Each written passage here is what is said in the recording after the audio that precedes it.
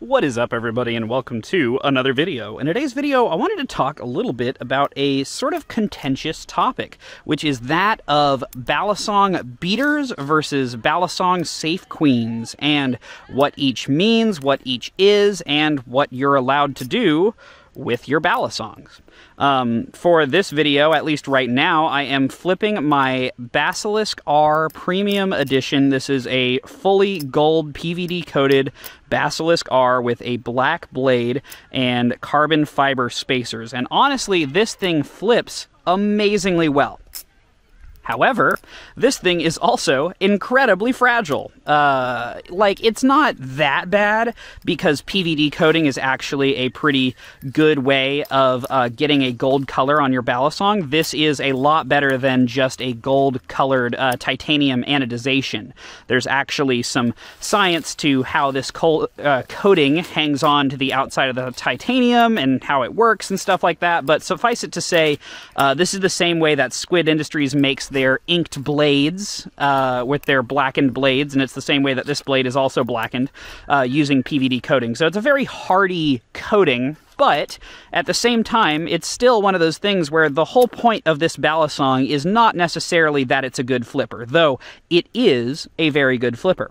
No, instead, the idea of this balisong is obviously that, well, it's beautiful. You know, it's a very uh, funky looking, beautiful designed Balisong. Uh, Jerry Hom has released a number of these sort of premium editions of his products in the past, uh, with uh, notable ones being some of the all gold and all black editions. Um, I was lucky enough to get this sort of black and gold colorway that I really, really enjoy. Um, but it's not one that I find myself flipping too often, and there's a couple reasons behind that. First of all, obviously, is, well, I mean, it's definitely something that's meant to be looked at rather than necessarily, like, flipped a lot. Uh, you can see that it is, you know, literally made of gold to a degree, and so, like, it's obvious that the primary function of this thing is aesthetics.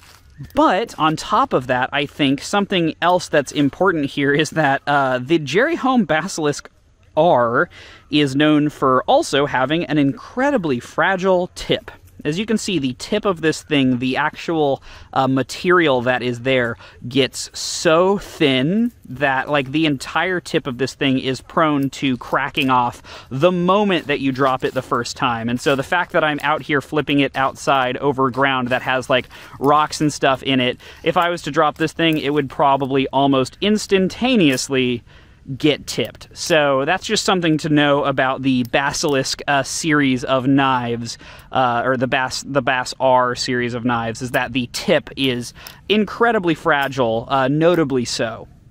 But at the same time, you know, it's not something that would keep me from flipping a balisong like that. You know, I am definitely a proprietor of the idea of having you know, beautiful balisongs. I do love a good, beautiful knife, but at the same time, I'm also not necessarily against actually using one of my beautiful balisongs to, you know, do something like flipping, whereas some people would rather keep their balisong in a safe, and these are known as safe queens. Safe queens are the kind of people who are essentially just collecting balisongs to have them and not necessarily to flip them. Uh, they want to have a pristine collection of all of these, you know, maybe original balisongs in the original packaging or uh, in their original condition, making sure that it's like as nice as possible and as as pristine as possible. And honestly, it's something that I don't fully connect with in the sense of like I don't really feel that way about my balisongs. You know, I would rather flip them than just keep them pristine. But it's also not something that I don't understand. You know, I can absolutely understand the desire of having your balisongs uh, simply just as historical pieces or something to look at or something to be enjoyed from a visual aspect because many of them are, in fact, quite beautiful. Uh, I could say something very similar about my Alien, or I could say something very similar about my Tsunami, right? These are very beautiful, handcrafted balisongs that have a lot of interesting history to them.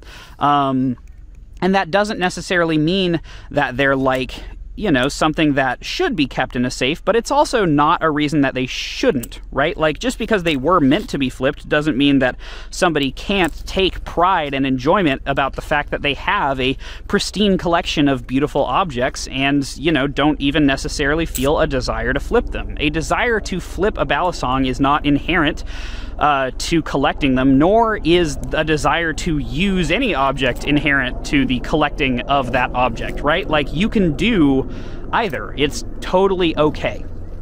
Um, alongside that, I think uh, the other end of the spectrum is people who intentionally beat their balisongs, right? Um, people who intentionally uh, take their balisongs and flip them all over the place and, you know, will like throw them into concrete and stuff like that. And to some degree, I think that that is fueled partially by just a desire to be uh, different, right? You know, um, I think people are annoyed about the fact that people safe queen certain balisongs, and I can understand why. But at the same time, I think the defiant act of taking this beautiful balisong that people, you know, really, really love and really, really want, and then throwing it into the concrete probably does bring some people a sort of uh, feeling of like, you know, oh, I have this and uh, I can do this with it because, you know, I can. Um, and I can't knock that either. Like, if you want to drop your balisongs and do all that stuff, more power to you because that's how I treat almost all of my balisongs. You know, I do carry them with me. I take my expensive balisongs around and I drop them on concrete. However, I think for me, the only difference really comes into like, I don't totally get the videos that are just gore porn for balisongs, right? Like, if you're taking your balisong and just intentionally hurling it into concrete over and over again, I guess if that makes you happy, then uh, sure, you know, more power to you. Like, I can't knock you for that, but I do find it kind of weird to just like that be your thing. You just you just take your balisong and kind of throw it into concrete a lot. It's like because it, all you're doing is potentially, you know, lessening the value if you did want to resale that balisong at some point. Um, and like obviously, if it's a compilation of somebody flipping and they're dropping it into the concrete over and over again, then that's you know like great honestly. Like that's that's what i do. I i literally flip my balisongs and drop them in the concrete all the time. I just think that there's a difference when it's like a video of you flipping it and you're dropping it versus like you're literally just taking a video of you throwing your knife into concrete over and over again. I don't know. I just don't fully vibe with that idea. Uh, I don't think it's like, you know, truthfully, I don't think it's a problem. Like, really I believe you can do whatever you want with your balisongs and like nobody should really be able to tell you how to live your life. So, you know, I I get it. You know, if you want to do that and that's like if that makes you happy, then that's great. Um but if you're just doing it to get a reaction out of people, then I'm like, well, why? You know, like all you're doing is just making people mad at you potentially. Um, you know, if you're only doing this to create a reaction, then why do it at all? You know, I guess if you like the attention, then that's that's fine or whatever. Um, you know, that's why I make these videos. I like the attention, so you know, I can't I can't judge too much.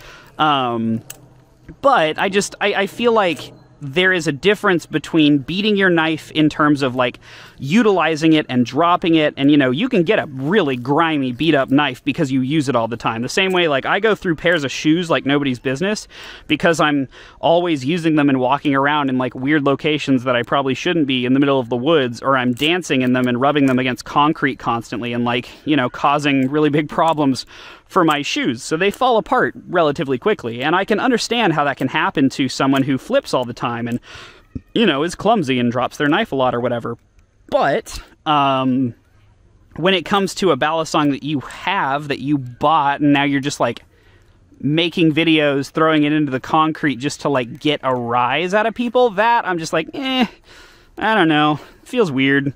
Um, not not my cup of tea personally, but yeah, um, on top of that, safe queens, like I really don't care about safe queens at all. I don't I don't think it's a problem because like people can enjoy things and they don't have to do the action that you associate with that thing to enjoy it. You know, everybody can enjoy anything in different ways. And as I was saying, like if you in, genuinely enjoy having a balisong and then throwing it into the concrete, then that's great. You know, like I that's that's fine. I, it's just when you do it specifically to get a rise out of people, that's when I'm like, I don't like the idea of making content just to annoy other people, right? Like that just that just kind of sucks to me.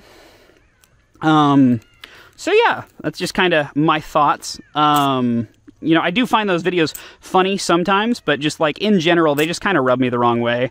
Um, and I thought I'd talk a little bit about it, especially now that I have like a few balisongs that I think people would consider things that you would want to keep a safe queen. Like, you know, I, I, I own a number of quote unquote safe queens, but I don't really safe queen them.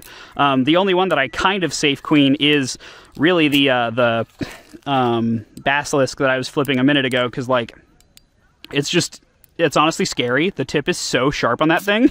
That's mostly why I don't flip it because uh, the tip on those things not only do they break very easily, um, but they are just so sharp. And if you mess up an aerial on that thing, if you mess up an aerial on most balisongs, like it'll poke you, and that'll be that. Um, but on on the basilisk specifically, oh my god, if you mess up an aerial on that thing, the tip is going like in you if it has a, you know, real tip. It's just it, it's just in you. Like that's just the that's just the thick and thin, man. That's just part of the life.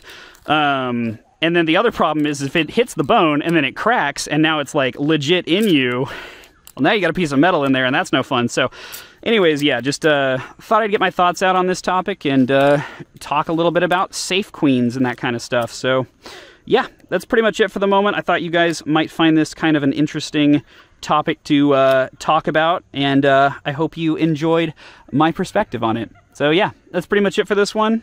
I'll see you later. Peace.